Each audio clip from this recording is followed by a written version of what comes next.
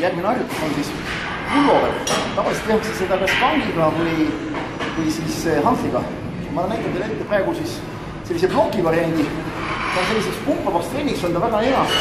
tunnetus on kogu aeg ühtlaselt järel.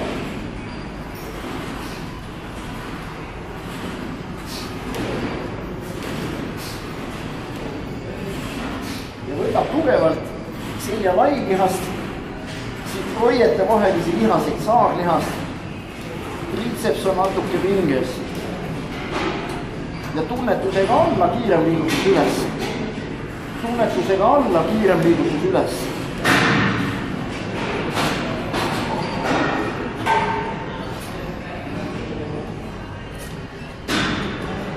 nii, ära.